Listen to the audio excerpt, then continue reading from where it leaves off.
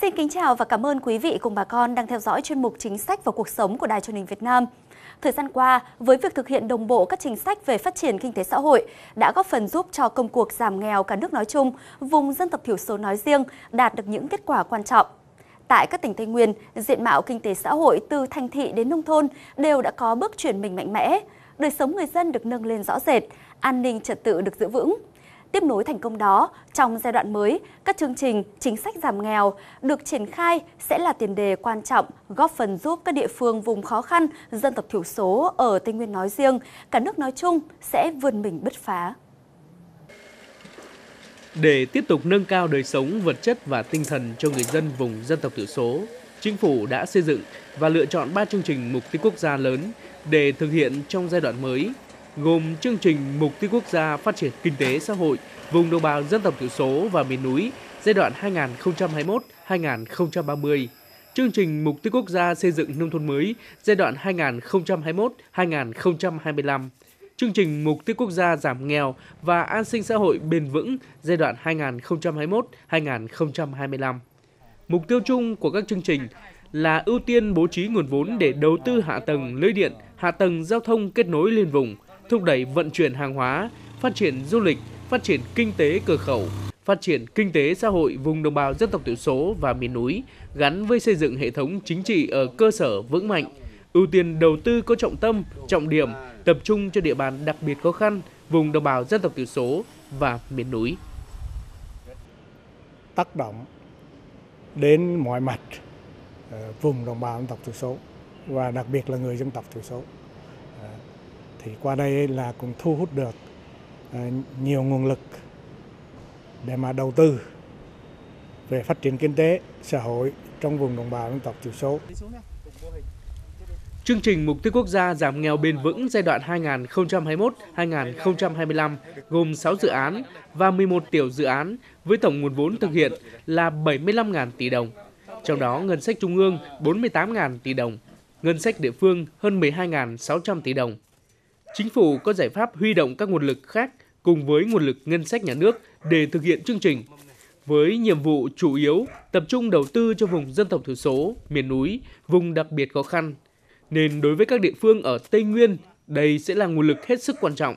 để những vùng khó khăn, vùng dân tộc thiểu số, biên giới có điều kiện để tiếp tục bứt phá, thay đổi đời sống vật chất, tinh thần cho bà con.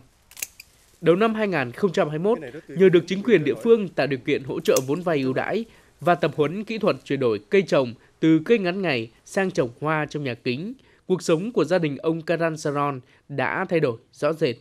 Từ một hộ nghèo, giờ đây gia đình ông đã vươn lên trở thành hộ khá giả ở địa phương nhờ canh tác ba xào hoa hồng giống mới. Cây hoa này thu, thu hoạch quanh năm, à, tất nhiên là chăm khâu chăm sóc nó rất là khó nó phụ thuộc vào thời tiết rồi các thứ là nó ờ, nó nhiều thứ lắm trên ba sào này mà tổng thu nhập và giá ổn định cũng tầm 400 đến 500 à, trừ chi phí cũng được ờ, còn lại có tầm hai trăm rưỡi gì đó. Tỉnh Lâm Đồng hiện là địa phương có tỷ lệ hộ nghèo thấp nhất các tỉnh Tây Nguyên với tỷ lệ chưa đến 2% dân số. Và để có kết quả như hôm nay, chính là nhờ thực hiện tốt các chủ trương về giảm nghèo, nhất là trong vùng đồng bào dân tộc thiểu số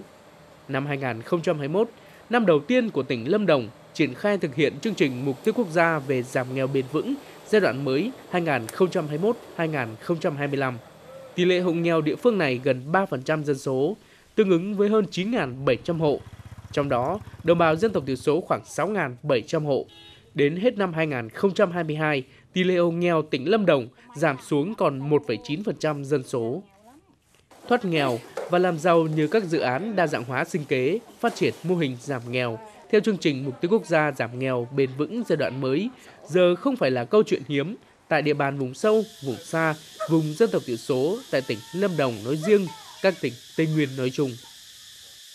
Là là nên là nên ngân hàng là hỗ trợ bảo tiêu như Đảng, Nhà nước quan tâm hỗ trợ, gia đình tôi từ hộ nghèo giờ đã thoát nghèo, giờ tôi tập trung làm ăn, Mong rằng kinh tế thời gian tới sẽ phát triển hơn nữa.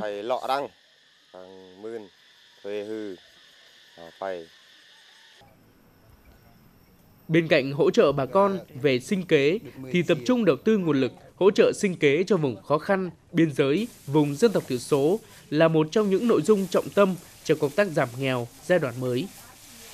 Gia đình bà Nguyễn Thị Thanh ở xã biên giới IARV, huyện Ea Súp, tỉnh Đắk Lắk là một trong những hộ đặc biệt khó khăn ở địa phương. Không có đất sản xuất, lại một thân một mình, cuộc sống chỉ dựa vào việc làm thuê, làm mướn, nên chưa bao giờ bà Thanh dám mơ đến một ngôi nhà kiên cố.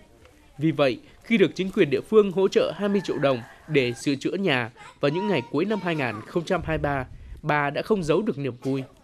Hỗ trợ được thấy mừng chết luôn chứ như hồi đó thì nhà đất nó dột nát ngủ thì nó mưa dột. Bây giờ nó được nhà láng rồi trên thì nó không dột nữa thì mừng chứ. Trong năm 2023, từ nguồn vốn của chương trình Mục tiêu Quốc gia Phát triển Kinh tế Xã hội vùng đồng bào dân tộc thiểu số và miền núi giai đoạn 2021-2030, xã biên giới IARV đã có 114 căn nhà được hỗ trợ sửa chữa và xây mới, với số tiền trên 7,5 tỷ đồng. Nguồn lực từ chương trình này đã góp phần không nhỏ giúp những hộ khó khăn tại xã biên giới có nơi ăn, trốn ở, ổn định. Trước bị cái nhà này cũng 20 năm rồi đó, rồi ton đồ nó dột nát hết có khi ờ, ban đêm trời mưa lớn cái vợ chồng con cái cái ngồi chúm nhụm lại à. làm được căn nhà này mừng mà ngủ không được luôn những năm gần đây từ nhiều chương trình, dự án và nguồn hỗ trợ khác nhau, các tỉnh Tây Nguyên đã tập trung hỗ trợ xây nhà ở cho hộ nghèo, hộ cận nghèo là người đồng bào dân tộc thiểu số. Từ đó, bà con sớm ổn định cuộc sống, tập trung phát triển kinh tế, vươn lên thoát nghèo bền vững. Trước đây cũng nhà tranh vách đựa Ờ, và sụp sụp sụp mà nó nhiều ờ, nó giọt nát nhưng bây giờ cũng được sự ờ, quan tâm của địa phương của nhà đảng nhà nước được làm nhà cũng vui hơn và có nhà mới tuy nhiên trong quá trình thực hiện cũng gặp nhiều khó khăn vướng mắc nên các địa phương phải có cách làm hay sáng tạo để tháo gỡ kịp thời đơn cử như tại tỉnh Đắk Nông năm 2023 địa phương này đã bố trí kinh phí gần 30 tỷ đồng để hỗ trợ xây nhà ở thuộc chương trình Mục tiêu Quốc gia về giảm nghèo bền vững. Qua giả soát, có gần 600 hộ thuộc nhóm đối tượng được hỗ trợ. Tuy nhiên, chỉ 50 hộ có được nhà mới, bởi để được hỗ trợ, các hộ phải có đất thổ cư. Trong khi hầu hết đều chưa đủ điều kiện cấp giấy chứng nhận quyền sử dụng đất, nên rất khó để thực hiện. Tôi thành lập một cái tổ giao cho đồng chí trưởng phòng tài nguyên môi trường làm tổ trưởng để trực tiếp hỗ trợ giải quyết cái thủ tục hành chính cho người dân. Chứ chúng tôi không để người dân tự đi làm. Đẩy nhanh tiến độ cái việc là rà soát và cấp bìa đỏ cho cho các cái hộ mà có đất à, nông nghiệp mà chưa được chuyển đổi sang đất, đất thổ cư để đủ đáp ứng được cái điều kiện để làm nhà cho các đối tượng thì có như vậy thì à, tiến độ giải ngân mới đạt được theo cái quy định của trung ương trong công tác giảm nghèo giai đoạn mới, Đảng, Nhà nước sẽ tập trung vào các cơ chế, các chính sách, phương thức để hỗ trợ người nghèo, để giúp cho người nghèo xây dựng với mục tiêu thoát nghèo một cách bền vững. Đặc biệt, các giải pháp giảm nghèo phải tập trung triển khai đồng bộ, bảo đảm ba yếu tố đa chiều, bao trùm và bền vững. Trong đó, ngoài việc tập trung giải quyết các chiều thiếu hụt của người nghèo thì tập trung hơn vào giảm nghèo bao trùm. Đó là hướng tới giải quyết vấn đề nghèo đói cho mọi người – mọi đối tượng, mọi nơi, mọi thời điểm, mọi chiều thiếu hụt. Cứ ở đâu có người nghèo là có các cơ chế chính sách hướng tới giảm nghèo, không để ai bị bỏ lại phía sau, không để lọt đối tượng. Thực hiện cái cái nghị quyết của chính phủ cũng như là của tỉnh thì huyện cũng đã xây dựng một cái nghị quyết chuyên đề về phát triển vùng Tây Nguyên của huyện Lâm Hà nhằm ờ, thứ nhất là nâng cao các tiêu chí của nông thôn mới và xây dựng cơ sở hạ tầng mà cái quan trọng nhất là quan tâm đến công tác xóa đói giảm nghèo và vùng đồng bào dân tộc thiểu số để mà ờ, không thực hiện cái chủ trương là không bỏ ừ, ai lại phía sau.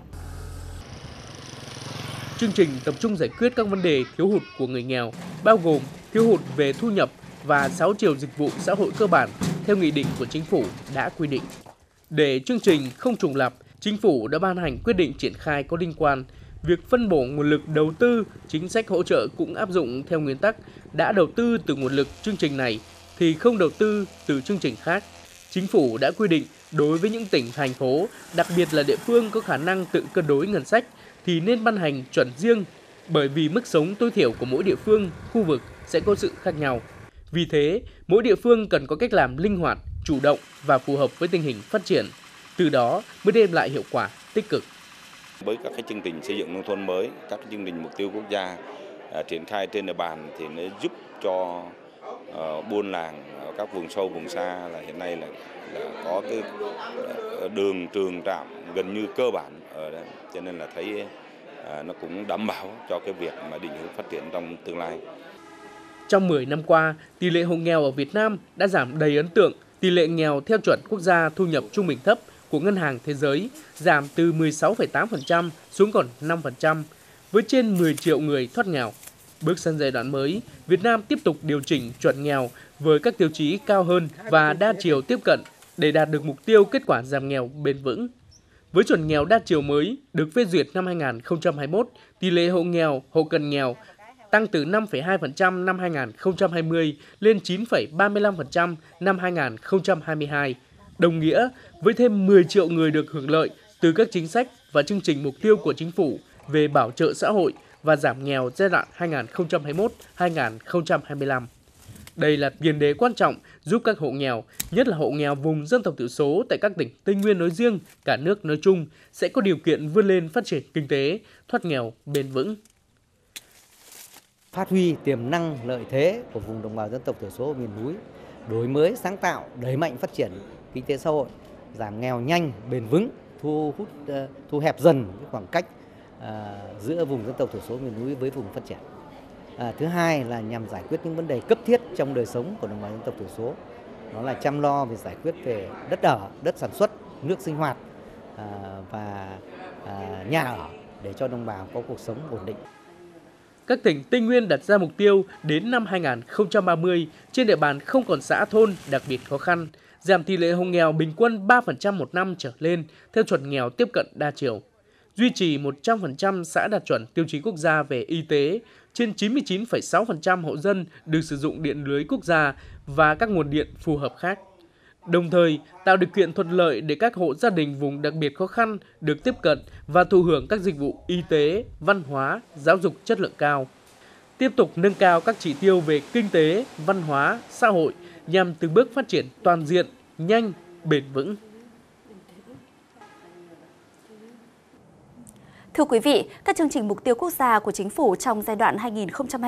2021-2030 đều có nguồn vốn đầu tư rất lớn, chủ yếu tập trung cho vùng dân tộc thiểu số, miền núi, vùng đặc biệt khó khăn. Vì thế, đối với các địa phương vùng dân tộc thiểu số ở Tây Nguyên nói riêng, cả nước nói chung, đây sẽ là nguồn lực rất lớn để bứt phá, thay đổi diện mạo đời sống, kinh tế xã hội trong thời gian tới. Thưa quý vị, thời lượng của chuyên mục chính sách cuộc sống đến đây là hết. Xin kính chào tạm biệt và hẹn gặp lại quý vị cùng bà con trong những chương trình tiếp theo.